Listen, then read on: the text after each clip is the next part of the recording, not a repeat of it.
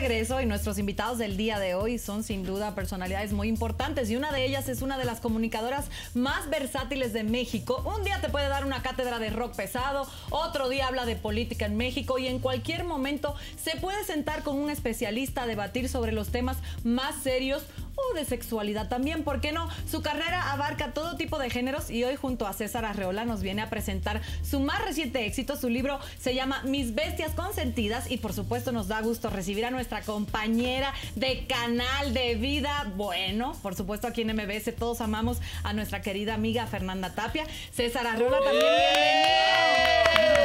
Oigan, yo pido un aplauso para don César Arreola. No son horarios para él. Señora.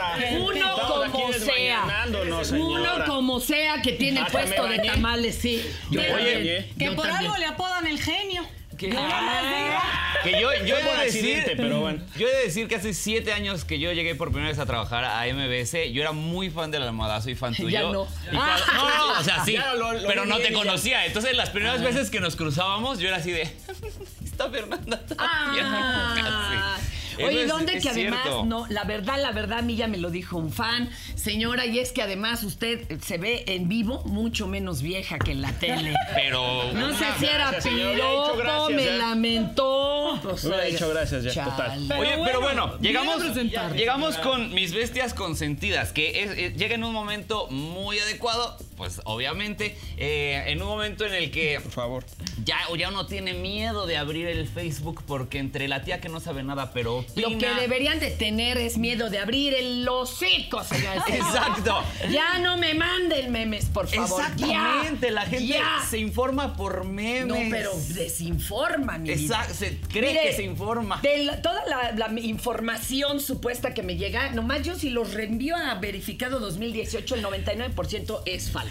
Así. Por eso tiene que ver el almohadazo y comprar su Mis. Bestias Además, Consentidas. señora, cuando una persona ha dicho, ay, qué bonito meme, voy a cambiar de partido. Oye, pero, Yo, yo no sé, yo Oye, creo que sí puede haber ¿no? alguien. ¿eh? Pero Sí, espérate, no. Eh, ¿qué número de bestiario es César? Cuéntanos. El segundo, señora. El segundo bestiario del almohadazo. Así Ah, sí, porque sacaron uno por el 2012, ¿es Eh, correcto? Hace seis Cada años. elección les toca. Esta vez es con los amigos de Editorial Porrúa. Y déjeme echar mi comercialeiro. Claro, adelante. favor. Las librerías Porrúa tiene descuento. Vamos corriendo Vamos, por uno porque vamos no porque además estamos escasos de libros. entonces, Exacto. Entonces saca usted su tarjeta. Aquí amigo. todos los camarógrafos Eh, quieren. Eh, menos nosotros, ¿verdad? Todos tienen tortita menos yo. Y es el libro recomendado del mes y también lo puede comprar vía digital en, por, en porrua.com.mx porque es la porrua de a de veras ahí. Pero además Hay yo les recomendaría pirata. que lo compren antes de las elecciones el primero de julio, sí, porque ustedes lo definen como un zoológico de los políticos contemporáneos Eh. y además aclaro que en efecto sí podría cambiar usted de opinión si Sí. lo lee. Sería Porque hay importante. tantos chismes. Podría O ver, tomar, o tomar una opinión un poco más informada y, y no estar Porque ahí. mira, lo dejas contra- con las revistas de bikinudas ahí en el baño Y mira. te vas enterando de otros si venías muy estreñido, te da tiempo de bikinis te- y... y hasta También. te sueltas, mano. Te sueltas. Porque mi- mire, Mire, qué bonito este. mire. Mire. Qué bonito. Mire qué bonito. A ver si le puede echar un acercamiento. Ay, carajo, a ver, espéreme que le diga medio gacho. Ahí está. Ahí está, que Ahí por está. cierto las ilustraciones son de Gabriela Quintana. Sí, que es una gloria. Mire, nos vimos a este estudio criptozoológico, pura bestia fantástica. Candidato a la gobernatura de, de Morelos. De Morelos. Así es. Qué bonito el debate de Sí, Morelos, mo- ¿verdad? señora. Pero mire, Mire con su jorobita. con su jorobita. ¿Y ¿Cómo se llama esta especie? Aquí está, señora. Es el Camellus legendae.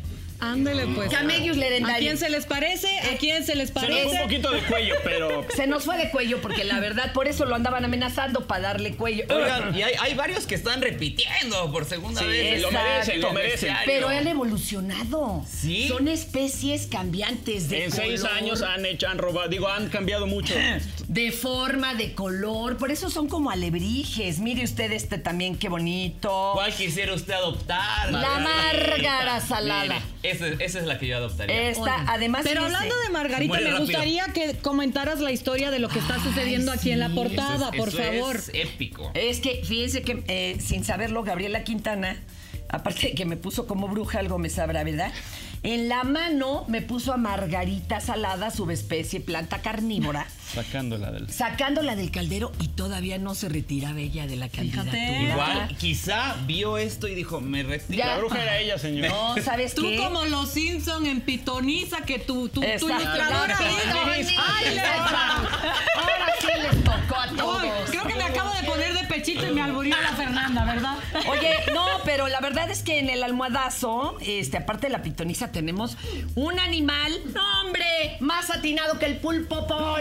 Oh, sí, me estabas Sí. diciendo. Y uno, ¿Cuál es? A ver. uno, uno no se lo esperaría porque quizá tiene uno en casa y no lo ha aprovechado como debe. Sí, se llama. Presta la cucaracha. Exacto. Eh. Y viera Es nuestro, es nuestro animal predictor. Oye, el 75% de Así es. tino y bastante acercado cuando no le atina. Espéreme que Y aquí- en el mundial va a estar en acción, señor. Ah, muy bonito. Oye, Fer, en lo que vas Mire, encontrando ahí, ay, ya. Broncos norteñae. Ese es el que va a cortar manos. Así Eh, es. bueno, normalmente, Mire. porque mírelo, aquí trae las manos. Ya trae dos ahí. Subespecie Charismaticus centronis juareño. Hay muchos, está el peje lagartus aferradus, el Ricardus canayo, que era de gavilancillo. Ah, Hay unos más peligrosos que otros, ¿no? En las Sí, especies. sí, sí, Está el Ratus Maximus. Este es de Kenchon.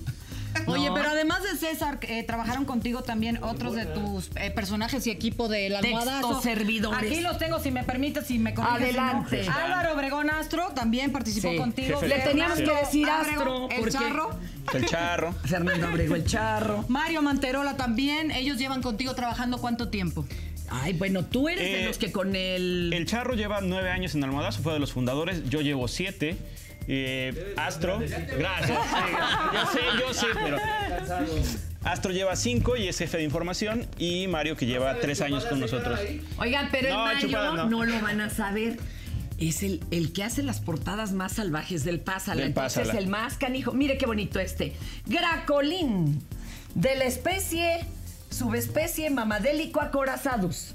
¿Eh? Qué bonito. Este, este es originario de Morelos también. ¿Cuánto tiempo te toma escribir un libro como este? ¿Desde bueno, cuándo la verdad empezaste? es que le echamos montón. Ok. Y además, como ya los traemos medidos. Y como ¿verdad? decías en el libro anterior, es un proceso como se hace el almohadazo.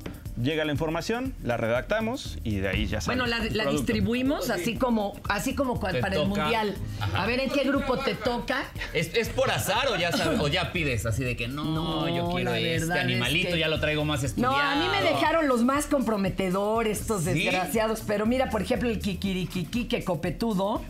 Qué bonito. Este, este es de una subespecie muy complicada. A ver, Muy dime. complicada porque se ha ido evolucionando. Este evolucionó, señor. Sí.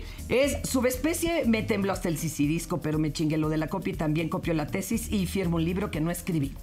¿Eh? Ándale, pues ¿Cómo oye, la oigan, Pero es que Eh, por espera, Rúa te dejó justamente trabajar con lo que te Abrazos a caracteriza, Miguel José tu Miguel libertad de Porrúa. expresión, que es Sí, súper que importante. Yo, yo solo quiero, ya me acabo de salir del closet como un fan tuyo, solo quiero pedirte que te quedes otro bloque. ¿Ah, sí? Ay, sí, porque Sí. tenemos que hablar de obras y de, de otras cosas, de la chamba. Pero vamos a un corte Ahora todo lo que hace. Vamos a un corte y regresamos, que no voy a permitir que se vayan. Es que sí, hay muchas cosas de las que hay que platicar.